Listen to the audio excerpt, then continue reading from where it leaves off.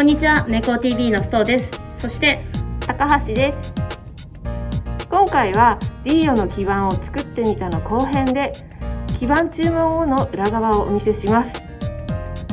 前回のお問い合わせからすぐにメールが届きました。詳細を伺いたいとのことなので打ち合わせに参加します。打ち合わせでは基板の詳細を伝えていきます。どんな基板にしたいのかどんな用途なのか要望に対して最適な提案を検討します次に設計に入っていきます。着々とディオの顔が出来上がっています。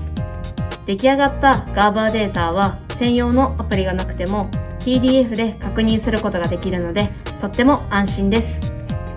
この出来上がったピースのデータを製造用に面付けしてシートにしていきます。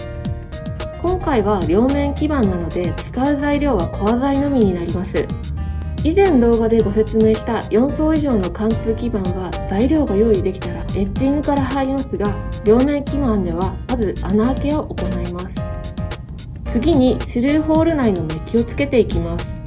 その後裏と表のエッジングを行います。もうデザインが見えてきましたね。次はレジストで基板全体にインクを塗布していきます。今回はモンテジオ山形と名工のコーポレートカラーである青を採用しました。次にシルク印刷で白色を重ねていきます。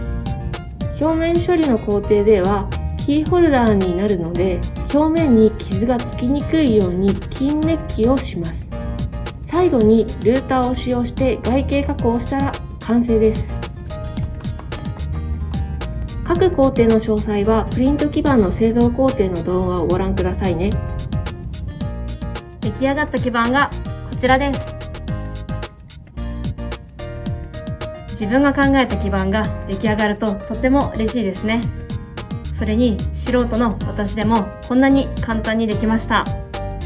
今回は回路がないので基板設計からスタートしましたが名工では回路設計もその前の開発段階からもサポートすることが可能ですし実装組み立てまでを対応しているので須藤さんでもアイデアさえあれば製品が作れちゃいます。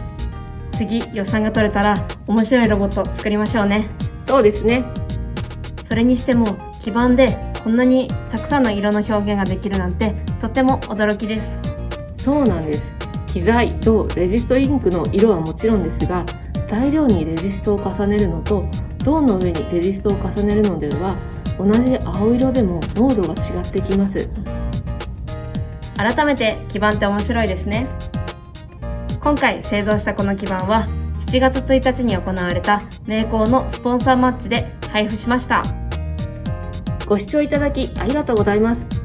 基板製造に関するご依頼は名工ラボへお問い合わせくださいねではまた次の動画でお会いしましょう。